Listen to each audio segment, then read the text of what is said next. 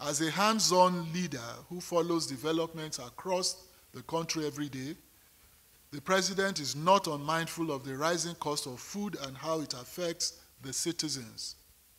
While availability is not a problem, affordability has been a major issue to many Nigerians in all parts of the country. This has led to a significant drop in demand, thereby undermining the viability of the entire agriculture and food value chain. Accordingly, and in line with this administration's position on ensuring that the most vulnerable are supported, the President has declared with immediate effect the following actions. One, a state of emergency on food security.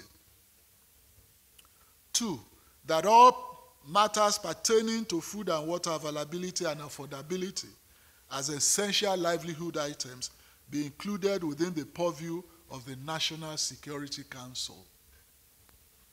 Now, as a direct and immediate response to this crisis, a number of initiatives will be deployed in the coming weeks to reverse this inflationary trend and guarantee future uninterrupted supplies of affordable foods to ordinary Nigerians. As with most emergencies, there are immediate, medium, and long-term interventions and solutions. In the immediate term, this government intends to deploy some savings from the fuel subsidy removal into the agricultural sector, focusing on revamping the agri sector. In an earlier meeting today with the agri stakeholders, we drafted a memorandum of partnership between the government and the individual stakeholders representatives that encompasses the decisions taken and actions proposed from our engagements. The immediate intervention strategies are as follows. One, we will immediately release fertilizers and grains to farmers and households to mitigate the effects of the subsidy removal. Two, there will be an urgent synergy between the Ministry of Agriculture and the Ministry of Water Resources to ensure adequate irrigation of farmlands and to guarantee that food is produced all year round. As a country, Mr. President has made it clear that we can no longer be comfortable with seasonal farming.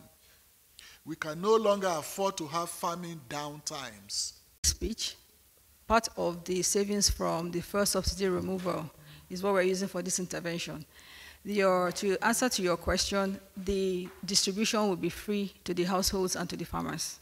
And part of the discussion we've had in our interaction is that going forward, most especially on those trucks that carry food and all those uh, items that basic needs, it will become illegal for any state actually to continue building roadblocks uh, to collect that. That's why we have the only person is custom services that is responsible to charge whether SI duty or import duty. So no other place in the constitution is allowed. That we have. And part of the discussion we've had in our interaction is that going forward, and if you follow our president, um, Expect us next time around.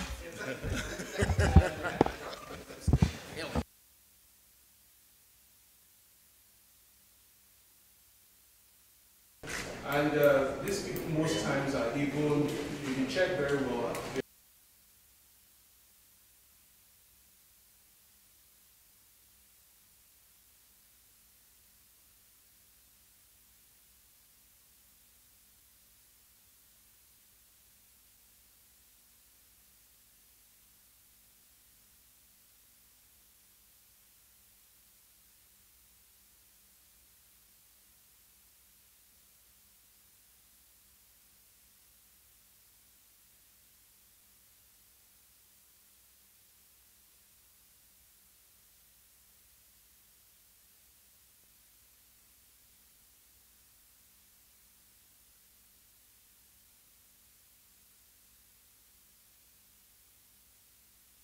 yeah, for any state actually to continue building uh, to collect that place in the constitution is allowed.